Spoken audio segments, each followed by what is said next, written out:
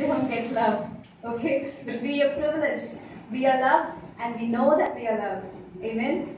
Now, I would like to share from the parable of the lost son, where Jesus explains the love of the Father.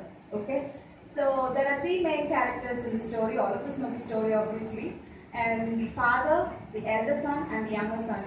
So, I was actually thinking that the younger son was the lost son. Because uh, when I was a kid, uh, I was considered the rebellious one in my family. so my aunt, who uh, is a spinster, she does ministry. So she always compares me with the younger one. She says, uh, "Ketta So she always compares me. So I really have this bonding with this guy. Even when I thought he was the bad guy, he was the wrong guy, I used to like him because uh, because I was compared to him. So now I know that he was not the lost son, he was the found son. Okay? So, um, well, uh, I'm not going to go into the details of it because we all know the real story. Uh, maybe when I was young, I didn't know the real story. I was thinking this younger son was the lost son, but actually the elder son was the lost son because he was self-righteous. Because uh, he didn't, um, though he was with the father, he did not really understand the father. Okay, so I'm just going to, I'm just going to share um, from the very first few verses from Luke 15 chapter, 11th verse. Um, then he said, A certain man had two sons, and the younger of them said to his father, Father, give me my portion of goods that falls to me. So we see here that there are two sons, and only the elder son raised his voice and told that he needed his portion of goods. It is not said that the elder son did not desire. Both of them desired the father's portion. So uh, only the younger son went and asked the father. Maybe the elder son also wanted to ask, maybe discussed, maybe the elder son triggered the younger son. But what happened is the younger son was the one who went and spoke to the father. Okay? So he asked the father, and the father, what he does, he divided them his livelihood. So what the father does, he did not give only the younger son his portion and send him off. He didn't do that. The father divided them. So he gave them both. Okay? So if the younger son did not desire the father's property, he wouldn't have received it from him. He would have said, Dad, you're more important to me than all this. You're more important to me than these materialistic things. I love you more. He didn't do that. He received it. Though he did not ask that he wanted the property, he got it. When the father gave him, he did, he, did not deny. He received it from the father.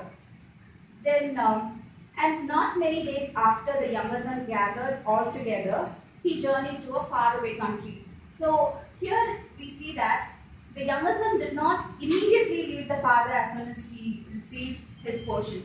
He stayed with the father. Though this was in, in Jewish culture, going and asking the portion, the property uh, to the father is dishonoring the father, is disrespecting the father. The younger son actually disrespected the father, but still he lived with the father after receiving his portion. He did not leave him immediately and go. He, he lived with him. So the father did not accuse him, he did not abuse him, he did not punish him, and the father did not banish him. The father provided and loved the son even after the son against the father, even after the son disrespected the father, even after the son uh, did not understand the heart of the father. Okay? So after all this, after uh, he stayed with him, he after that, after, later he journeys to a faraway country.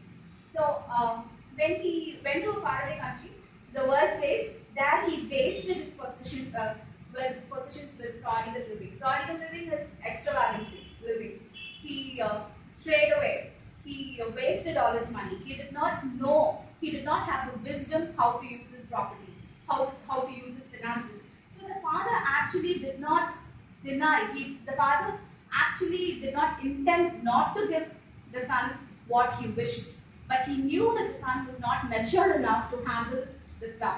So that is the reason in the first place, even before the son asked, the father would have given. But the father knew his son. The son had to grow a little more to receive it for it to be a blessing to him. That was the reason the father did not give it to the son.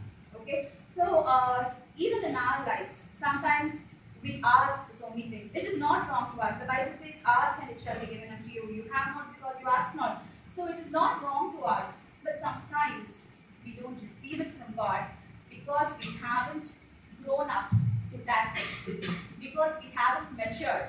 If we ask for something and God gives that immediately, we have to thank God because He loves us.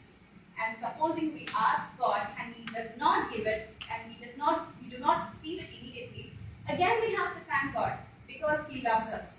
He, he doesn't want to uh, give us something which is not going to be a blessing to us.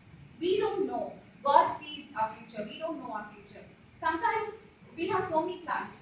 We, we want to venture into a new business. We want to uh, try for a new job. Even in ministry, we want to do so many things. But sometimes it seems like there is no way out. We have to wait Lord. It is not wrong to wait. David had to wait for 17 years after he was anointed. But it was not the case with Solomon. So for some people, they receive immediately. God has different plans for different people. Supposing pastor can receive it immediately, but I have to wait because I have to grow more. God loves me and He wants me to give, He wants to give me something which will be a blessing to me, not I'm going to waste. Okay. So here again, the younger son wasted everything, and that is the reason the father did not want. Supposing uh, now Abby actually he wants a bite. He, wa- he wants a bite. Will I get him a bite now?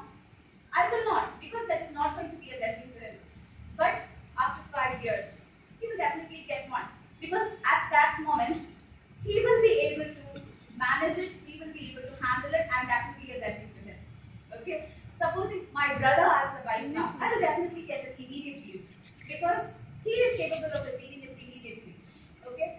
So, uh, the next verse, the 14th verse says, When he spent all, there arose a severe famine in that land, and he began to be in want.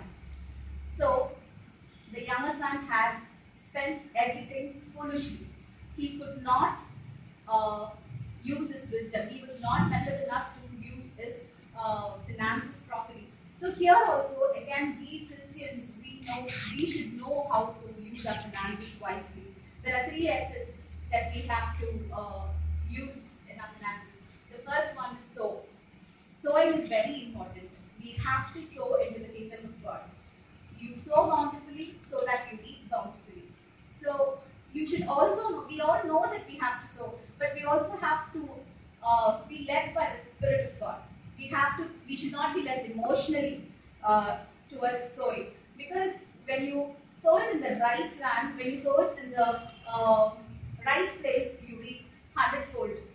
Okay? When you sow it in the rock or when you sow it in a by place, when you sow it in the, you don't receive hundredfold blessings. So you have to use the wisdom of God. You have to be led by the Spirit where you have to sow. And the second very important thing is about saving. Some Christians, I would say that, we believe that why should we save? Because God holds the future. We don't have to save. It is not the case. God gave us wisdom. Every one of us have wisdom. We have to save for the future. The Bible talks about saving. So there are lots of verses that talks about saving. One very important verse is a slack hand causes poverty. When you when you spend recklessly, you obviously end up in that. When you spend carelessly, sometimes we need to go on a purchase fast. I I about myself because I see something and I actually want to get it immediately, which I don't don't really need. God wants to bless us. He wants to give. He's a lavish God. I don't say no, but don't get something which is useless. Which I I've gotten so many things which are just sleeping in my cupboard. I don't use them. So I I have decided to go on a purchase fast because I will I will only get what I really need. I will not get what I don't really need. It is not that I should not Uh, uh, I should not live on what I like. I, I can get whatever I like. God has blessed me. I will, and God has blessed me with a very nice husband. If I say I want to get a dress, He will say get two more. He's like that. So it is not wrong to get things, but we have to use our wisdom. We should save. We should also save for the future. Joseph saved. God gave Joseph the wisdom so that he was a blessing to many countries.